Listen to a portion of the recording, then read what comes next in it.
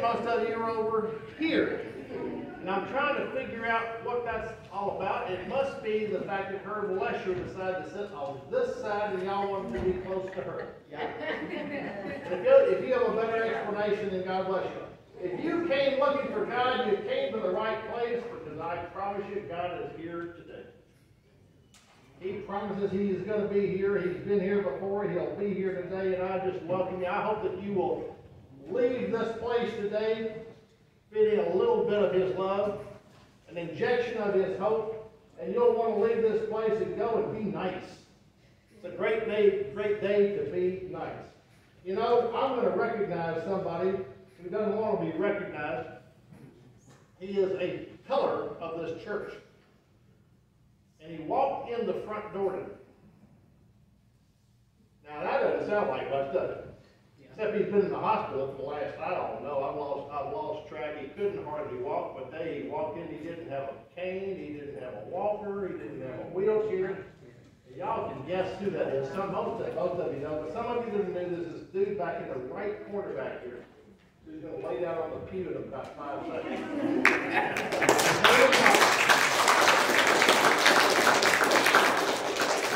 He, he deserves our love this morning. He has been through a bunch, he is a bunch of a man to go through what he has gone through. In your in your handouts today, in your bulletin, there's this green envelope. I don't know why. Why is it green? Oh, I know, because it's supposed to reflect money that you put in here. What a clever idea. So we have VBS coming up in a couple of weeks, probably a couple of months, slightly more accurate, July the 6th to the 10th. We need you to help to volunteer to do things. We need you to contribute by supporting kids. There's probably fewer few uh, ministries of this church more important than the work that we do with our kids, whether it's here or somebody else at the children's home. So I just would like to encourage you to participate and uh, support that uh, that effort. We've got a boatload of volunteers. I don't even know how many volunteers, but we got a boat. We got a boatload. And uh, you'll hear more about that in the coming weeks, but please try to support that if you can. You know, today I want to thank you guys that support this church by buying flowers. Today you got some flowers, some coronations, because of Mother's Day, but every Sunday, some family supports this church by producing, by buying the flowers up here and contributing to that. Normally Miss Sue goes and gets the flowers and brings them to church and sets them up so it doesn't take much effort on your part to do that. But boy, don't they look beautiful? They look beautiful. It's so nice, nice, nice to see them. So this weekend was busy. The women had a party, the men had a party, and the women had a special program on a really important topic called human trafficking. So I congratulate them on that program. That will end their meetings as a women's group for the summer. Uh, and so I'm delighted they had such, such a good turnout. The men had a good turnout. The men had the slight advantage. They gave the guys stakes to come. So if you missed the steak dinner and you're a guy, you just need to get on the right list. So see me if you're going to get on the list and come to the next one because it was, it was a great, great event. May the 1st was the launch of the Global Methodist Church. You need to be a, a cognizant of that fact because that is the new denomination that we are moving down the path progressively and uh, that's not the right word. Uh, judiciously trying to become a part of. It's, it's, it's, a new it's a new deal, so we're going through that process, and that will happen in the very near future. With that, that's the announcements of the day. I'm going to turn it over to Joe for the Dr. Good morning. Good morning, everyone. Thank you so much for coming. Um, if everyone would please rise. Um, and we could, if you'd like, we have the lyrics uh, up here on our screens, and sing along with our doxology, please.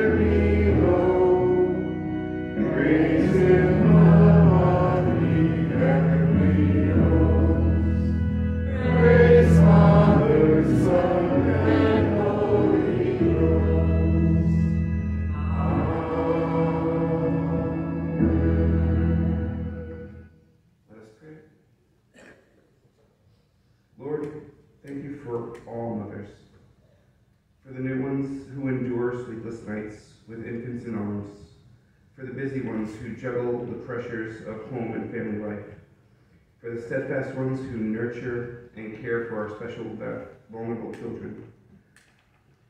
For the patient ones who always seek to forgive and engage with their preteens. For the persistent ones who cleverly find new ways to connect with their many adults, for the mother aunts who, who step in to cradle and care for nieces and nephews, for all grandmothers who love and support their precious grandchildren, for the foster mothers that are called to gather and cover the fragile ones, for the Sunday mothers who who care for our children and lead them in faith, and for the mothers who give far beyond their own resources, who overcome disability to cherish and love. Thank you, Lord, for all of our beautiful mothers.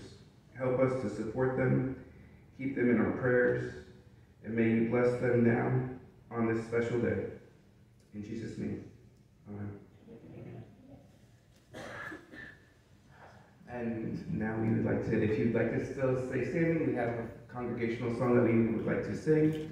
Um, it is Honor Christian Mothers. It is in the tune of Honor, um, I'm sorry, uh, is in the tune of Onward Christian Soldiers. So it's a familiar tune with different lyrics, and we'll have them here on the, on the screens.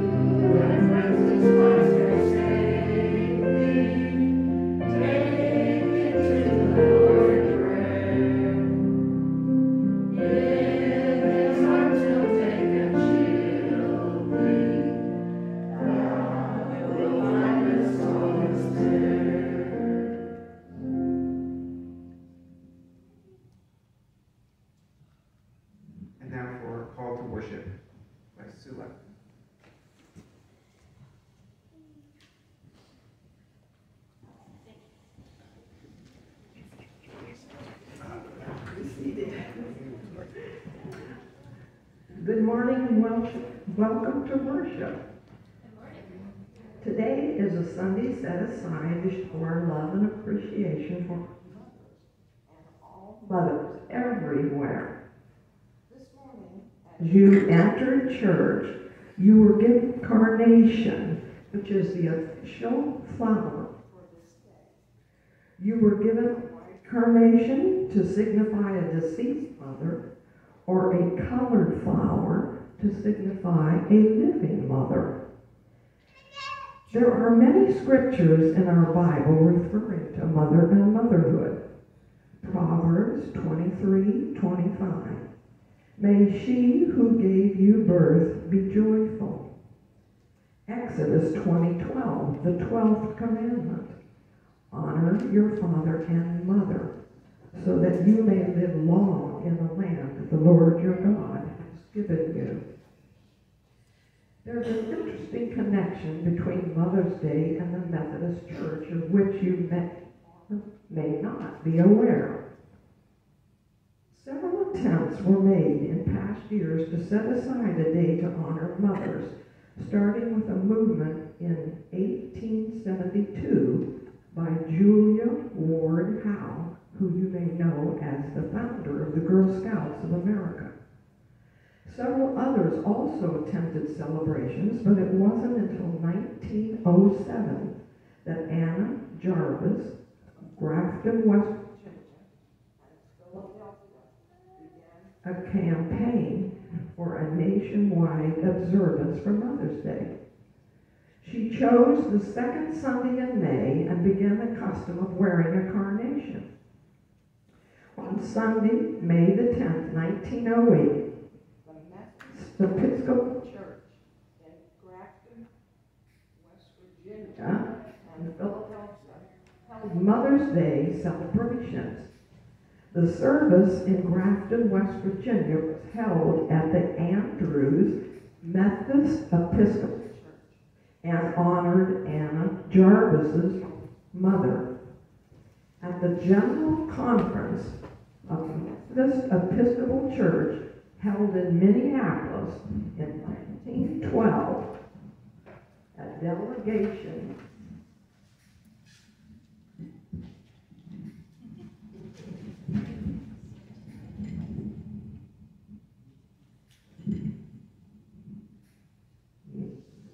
Now, maybe you can hear all the words I say, not just picking up pieces here and there.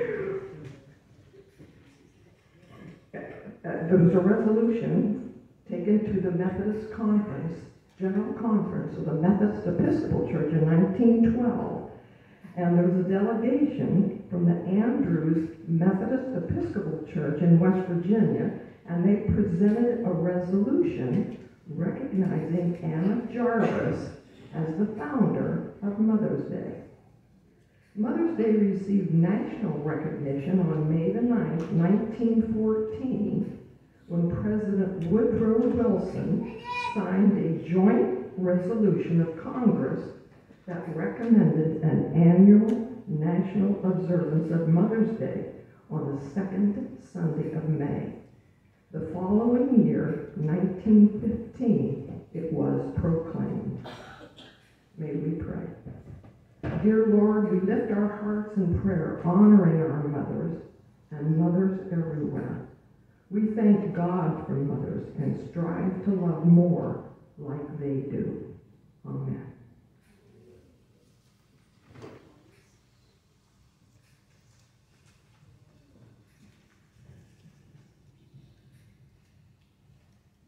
If you want to join me, and I encourage you to do so, I'm going to be reciting, saying Apostles' Creed, which is 8, 8, 1 in the back of your hymnal.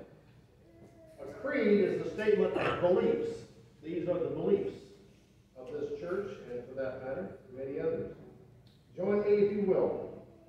I believe in God the Father Almighty, maker of heaven and earth, and in Jesus Christ, his only Son, our Lord, who was conceived by the Holy Spirit, born of the Virgin Mary, suffered under Pontius Pilate, was crucified, dead, and buried. The third day he rose from the dead, he ascended into heaven, and sitteth at the right hand of God the Father Almighty. From this he shall come to judge the quick and the dead. I believe in the Holy Spirit, the Holy Catholic Church, the communion of saints, the forgiveness of sins, the resurrection of the body, and life everlasting. Amen.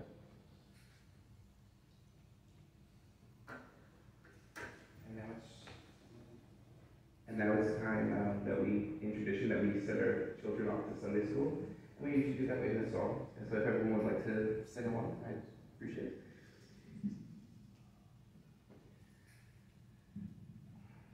Jesus loves the little children.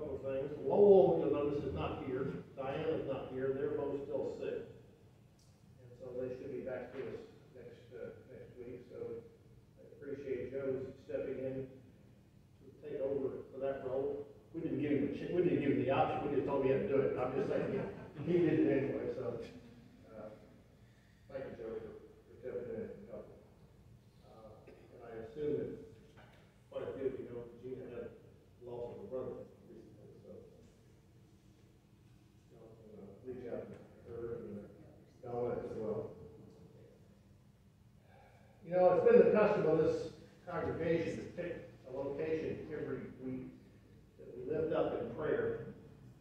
And this week, the congregation, the congregation, the area of the world I'm gonna lift up is that of Haiti. Haiti hadn't been in the news a lot recently by the news that I watched. But it should have been, because gangs are just literally running rampant across Haiti. Murdering, killing people just left and right. It's just a, a lawless world in Haiti. And so let's lift them up in our prayers this morning. Let us pray. To you today believing that you are the creator. You created the universe.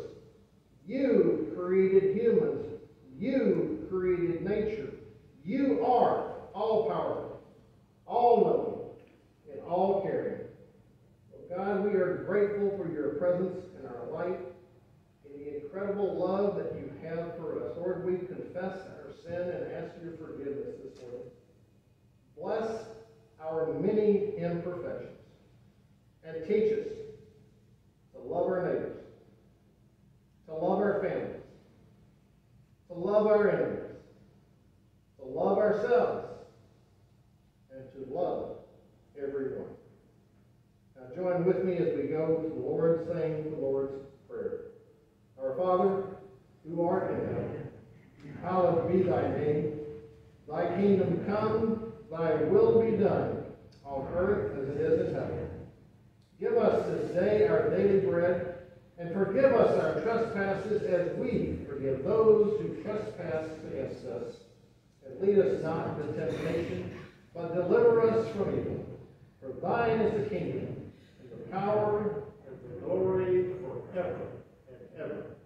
Amen. Lord, open our hearts and our minds by the power of your Holy Spirit.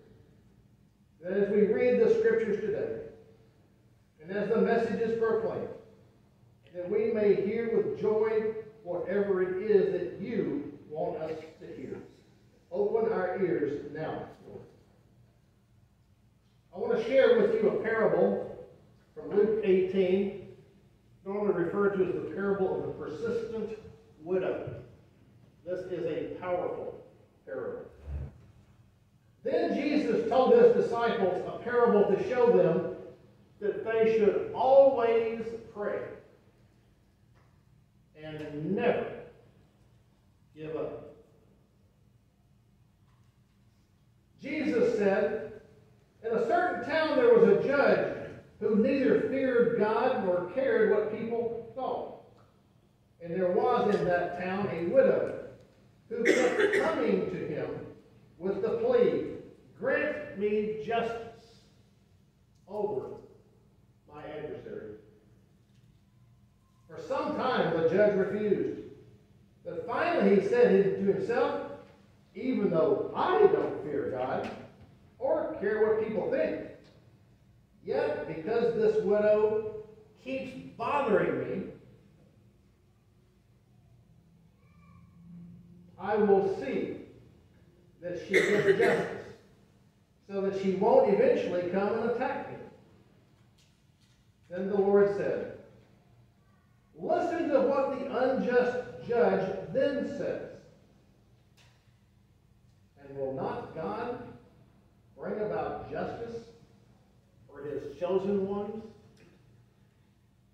Who will cry out to him day and night? Will he keep putting them off? I tell you, he will see that they get justice and quickly, However, when the Son of Man comes, will he find faith on the earth? The Word of God for the people of God. Thanks be to God. Prayer works. Will not God bring about justice for his chosen ones, who will cry out to him day and night? Praying should be as urgent and necessary as breathing. Yet all too often we get bored by it. We get distracted from doing it. We get uncertain about the purposes or results of prayer. We don't sometimes even remember why or how to pray. But listen this morning. We're going to reconnect with those issues. We have many reasons to be excited about prayer. It is the relationship glue that bonds our hearts to the Lord. You saw it in the video. God commands us to pray, and He graciously wants and desires to answer our prayers. As we pour out our hearts to Him, we and the world around us will be changed. Simply stated, prayer works. This week has been a hard week for me, and probably for some of you. I've thought about my mom from when I was a kid. My mom was pretty much sick during the entire part of my life when I could remember her. She had cancer. She went through radiation. Back in those days, they didn't really have the skill set or the equipment to do what they do today, so they over radiated her body and basically injured her lower abdomen. As a result, my mom was short, thin, frail, and lived in pain for a large part of her life. And I was also thinking this week, in conjunction with that, about a picture appropriate for Mother's Day. It's an older woman, full head of gray hair, staring down at an open Bible on the table. Her glasses are on the Bible. Her hands are clasped, and she's praying. That's a really good image of a mother on Mother's Day. If you want to see that image, it's over in the pantry. It's a picture right above the stove. I don't know who the woman is, and maybe nobody does, but it's a great picture. I would love to keep that picture in the records of this church as we move into our centennial celebration. Because that is a great, great picture. I looked around this morning, actually a couple times this week. I was trying to find in our stained glass windows a picture of hands clasped in prayer. I didn't find that, but I did enjoy looking at the stained glass windows. And I'm betting that most of you have never spent more than a minute trying to do that, but there's some really good pictures, nice pictures, beautiful pictures, inspiring pictures that remind us of our faith and the history of this church. So I, I recommend you do that in.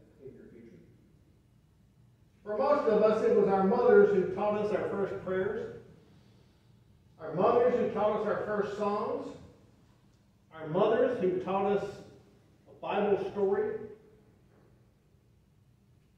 And for many of us, we were taught a prayer something like, Now I lay me down to sleep. I pray the Lord my soul to keep. In Jewish culture, they pray a little bit different psalm, a little bit different uh, prayer. Father, unto thy hands I commit my spirit, which sounds an awfully lot like what Jesus said on the cross. And as we examine the scripture I just read to you, I want to reinforce Jesus told his disciples, always pray and never give up. If you don't hear a thing else that I say this morning, would you kindly remember those five words? That's it. That's, that's powerful stuff. Powerful stuff. Perhaps it could be argued that while Jesus did teach us that the most important commandment is to love our neighbor, perhaps Jesus is trying to teach us in this parable that the most important thing that we can do is to pray. And the need for having perseverance in that process. Praying for things. Like that grandma's picture that I tried to describe to you. It's been my observation, and looking at a few of you, I can well believe this to be true. Mothers are persistent. If I did a study of all the things that mothers have started or energized or whatever, I am sure it would be a bunch. Things like Mothers Against Drunk Driving. Mothers who took on the world because the world sat around and did absolutely nothing until Mother said enough. We owe mothers a lot. Mothers are prayer warriors. It's perfectly consistent with that parable, the picture that I described of that woman, that grandmother, who was sit, sitting at a table looking down at her Bible and clearly praying. Undoubtedly she was praying for her family. This past Thursday was a day of prayer. That's an important day. It does not get the attention, the service that it deserves, including what I could or could not do this particular week, although we've done it before. But I also found out this week at a clergy meeting something that I had not known before. It's recent information and it's not good news. The issue is biggest killers of people. And you probably guessed the first three like that. We got COVID, we got cancer, we got heart disease. You know what number four is? Suicide. That's what I found out this week. That ain't good news. And it's not good news because it means that the church is not doing its job. We need to be out there in our society and telling people you've got a purpose. God loves you. Stay with us. Don't give up. Oh my Lord, does that tick me off?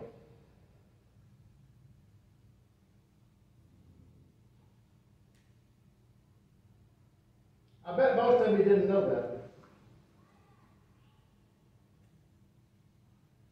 Because it's not good news. But it's news that we need to understand so that we can put the burden of that issue on our shoulders and carry that out in society and do something about it. Please. Please. Please. But you know, the story continues. Military organizations have a problem with suicide. First responders have a problem with suicide. Kids have a problem with suicide. I'm not an expert. But I can hear simple facts and understand that the ramifications are great. Because God wants to love all of those people. And so I had a discussion this week about bringing a speaker in to talk to our young adult ministry, which for us is 20 year olds, and make sure that they hear about the issue and they understand who they can talk to. Because there are people and organizations out there to deal with that. So I'm going to do that. Our young adult ministry meets at the moment on the first, and the third Friday nights. And we just decided this past week that we're going to start a worship service on the fourth Friday for young adults. It's going designed by them, and they're going to be involved in delivering it, getting special music for it. I hope that you will pray about that ministry. And I hope you will understand the truth when I say this church needs to reach that age bracket. Amen? Amen. So please help. In 10 days, I'm going to be going to Mayfield, Kentucky. Most of you probably say, what the heck is that? That's a place just south of Paducah. It is a place that was literally wiped out in December by a set of storms and tornadoes that went through there and wiped out everything. And I'm going to be taking some money that I've been collecting up to give to the First Methodist Church of Mayfield, Kentucky, to their pastor, whose name is Joey. And I'm going to be going to their service. But they will be having service at a different church. Because their church was wiped out. But I'm going to take up a check to help rebuild that part of the country. Because I want to go because I want my eyes to see, and my hands to feel, feel, and my ears to hear what's going on in the lives of people. It's one thing to watch a video. It's one thing to watch a picture, as you did last week, of masses of humanity trying to get on a train to get out of Ukraine, for those of you that were here. But it's different when you're there, I think. But I want to go, and I want to help, and I want to experience Mayfield, Kentucky. And I want to tell them we're going to be here to try to help. And I certainly hope that you'll want to be involved in that as well as other things that we'll be doing. But let me ask you a question. What is your perspective when you pray? Do you believe that your prayer is going to be answered? Do you understand that the God you're praying to is the same God that created the universe?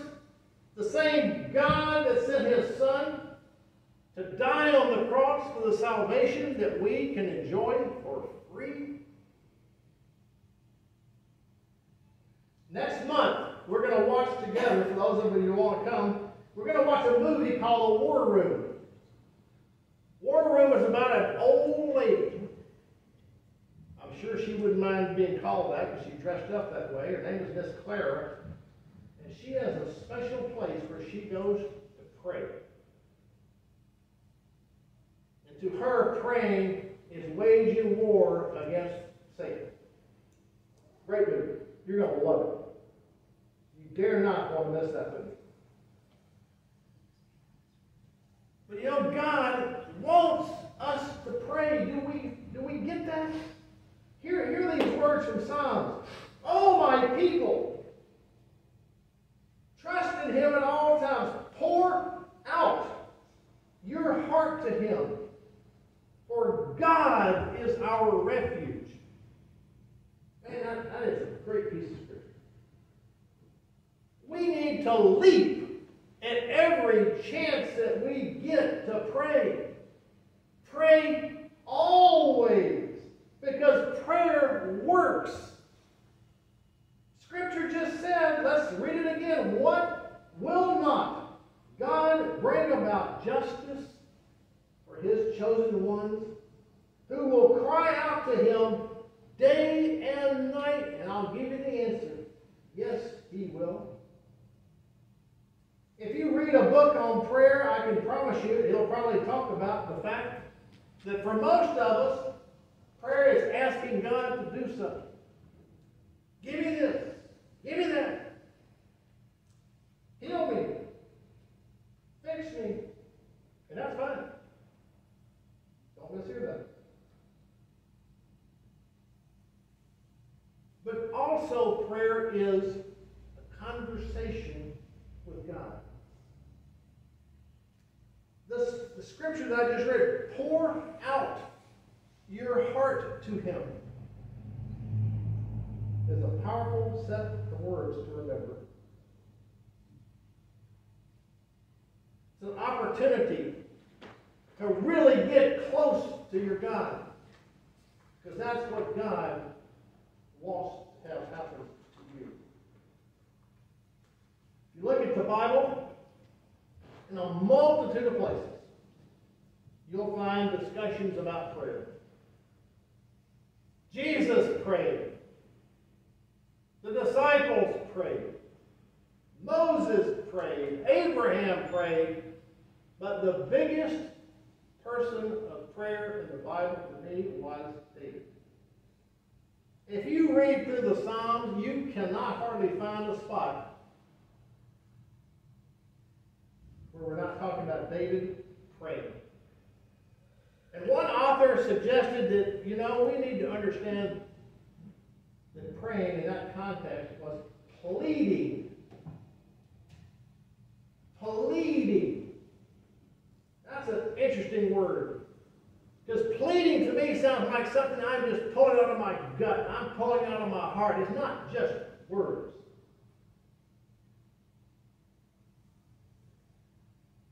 That train picture from last week with those people, mostly mothers, by the way, trying to get their kids onto the train because the dads that were staying there fighting the war, I am sure that those mothers were pleading to God. Have mercy. Have mercy on us.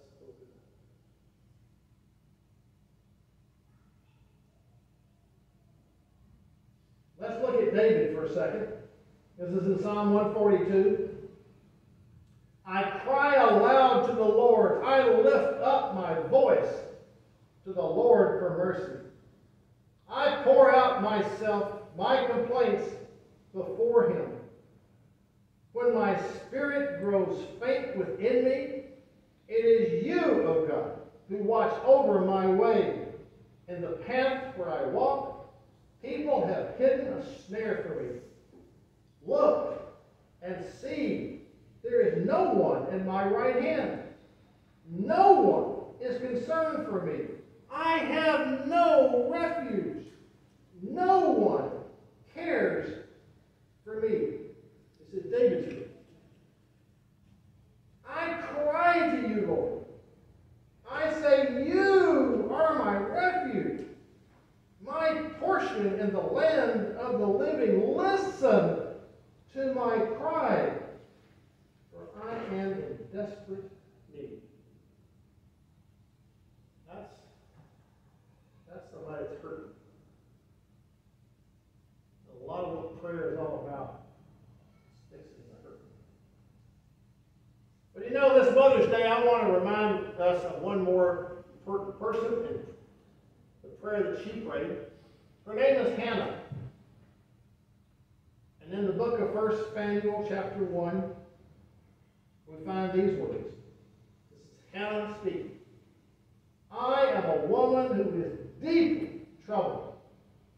I have not been drinking wine or beer. I was pouring out my soul to the Lord. She was talking to the Lord by herself. Hannah is distraught because she is barren. She has no kids but she yearns to have one, and she pleads to God for his mercy to allow her to have a child. Maybe there's a family here today, or maybe you know a family that wanted a kid and couldn't have one. That's Hannah. In her days, for a woman not to be able to have a child was a social stigma. Not so much today. The wording of Scripture that describes how Hannah was feeling attempts to describe how deeply Hannah is yearning for a child. And when we continue to think about prayer and we remember Hannah, I think it's important to understand that prayer is about heart work. We're reminded in Matthew in two different places love the Lord your God with all your heart. And in another place, Jesus reflects, says, These people honor me with their lips, but their hearts are far from me. Prayer is only effective when we have engaged our hearts in the process. Prayer is not just the words that come out of our mouth. In fact, maybe it's got very little to do with the actual words. When we pray, we socially connect or emotionally connect. That happens with God, and it happens with the people you pray about. Try this sometime. If you're really ticked off at somebody, pray for them. Because when you pray for people that you're not really happy with right now, changes your attitude and your opinions about who they are, and you begin to see and even like those people in a Christian sense. Because we're praying to a God who created the universe. There's power in that. What prayer do you have this morning? What prayer did you bring when you walked through these doors this morning? What tear in the fabric of your spirit needs to be healed because it hurts? You're hurting. You need to fix it. You need to resolve it. I'll be honest with you. My prayer these days is the health of this church and its members. And I mean health a perspective. But I pray about the health of this church every day. Going back to our widow, the widow prayed persistently, but there's another story in the Bible about persistence and prayer. This is in Luke 11. Then Jesus said to them, Suppose you have a friend, and you go to him at midnight and say, Friend, lend me three loaves of bread. A friend of mine on a journey has come to me, and I have no food to offer him. And suppose the one inside answers, Don't bother me. The door's already locked, and my children and I are already in bed. I can't get up and give you anything. But I tell you, Jesus said, even though he will not get up, give up and get you bread because of friendship, yet because of your, hear this, shameless audacity. That's pretty strong. He will surely get up and give you as much as you need. So I say to you, ask and it will be given to you. Seek and you will find. Knock and the door will be open to you. For everyone who asks receives, the one who seeks finds, and the one who knocks, to them the door will be open. The one who seeks finds. Be persistent, Jesus is telling us. In our story, the widow prayed with persistence. She asked, and then she asked again, and then she probably asked again. She was seeking and she continued to seek. She knocked and she kept on knocking, giving up. Hear this. Giving up was not an option.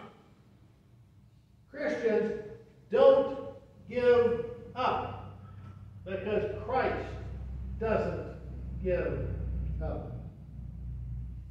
You know a story about a guy named Jacob. And you remember in Genesis 32 the story Jacob is wrestling with God. That's just a whole interesting idea right there, we'll deal with that another day. And toward the dawn, the man, God, tells Jacob, Let me go, for it's daybreak.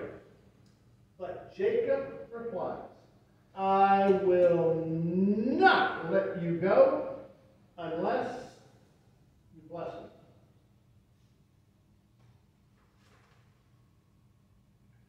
Scripture suggests that the prayer of faithful people works. In James 5:14, are any of you sick? Speaking to the church. You should call for the elders of the church to come and pray over you, anointing you with oil in the name of the Lord. Any Wednesday, 5.30, right here. Clearly, there's an expectation in that scripture that the prayers of the elders will be answered.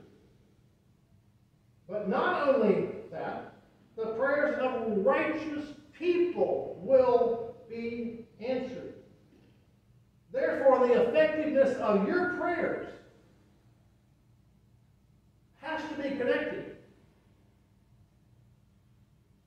to your faith, to the growth and commitment that you have to your faith. Proverbs 15 29 reinforces that with these words The Lord is far from the wicked, but he hears the prayers of the righteous. I remember that. Do you want your prayers to be answered? Do you live your life in a way that would allow God to want to bless you and to answer your prayers?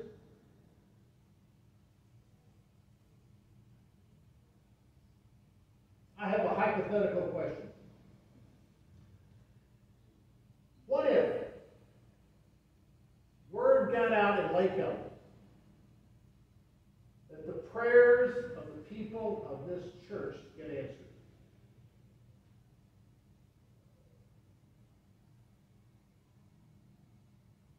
Wonder what would happen. Wonder. But praise is also a part of prayer. Even within the confines of the concept of pleading, we can be energetic in our exuberance when we're thanking God for something that God has done for us. And we certainly ought to praise as much as we can. You've heard me say it before, I will say it again. If you live in America, you really need to examine yourself if you're not praising your life in America. Certainly when you compare it to many other countries. So I ask you again,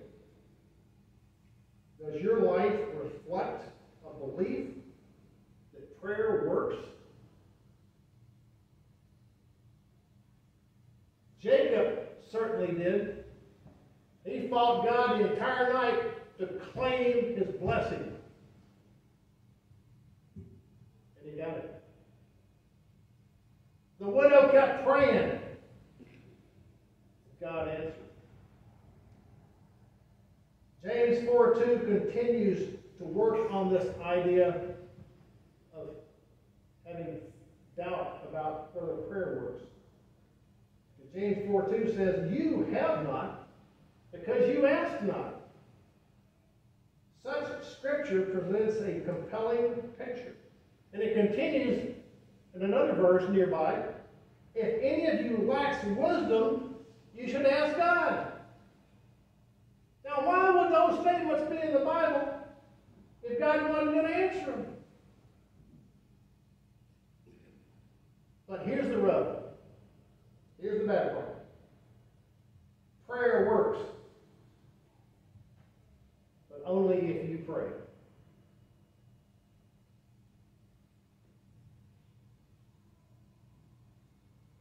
Our widow prayed and prayed and prayed because she knew that prayer would work. So she prayed over and over again. As the video showed you earlier, and I would remind you in Scripture, it says, pray without ceasing. Our widow prayed. She got a response. And Jesus closes that parable with a really interesting question.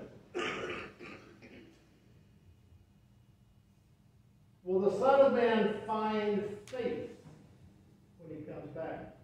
Will the Son of Man find a church that is praying? Will the Son of Man find churches that have a vibrant prayer ministry that expects their prayers to be answered? That are so energized by the opportunity to pray that they do so every time they can. Ladies and gentlemen, you have a yellow prayer slip that you have today. And I seriously hope that before you leave this day, that you will fill out that yellow prayer slip, which goes to the prayer team, which is anybody that wants to come on Wednesday at 5.30. Be part of the prayer ministry of this church by filling out those yellow slips so that we can lift those names to God when we pray together on Wednesdays at 5.30. In case you want to come on Wednesdays at 5.30. That would be. The Jesus and I have mentioned several times today came to offer each one of us the gift of salvation. It is a gift that has to be activated by you. But the only thing it takes to activate your gift of salvation is to say, Yes, I accept your gift of salvation. And if any of you have not done that today, I hope you will do so today, right now. It is never a bad time, it is always the right time. And it's to your advantage to get into the pearly gates and then join in our ability to pray to a Savior who is sitting there waiting and anxious to listen to anything that we want to say. Happy Mother's Day. But to God be the glory.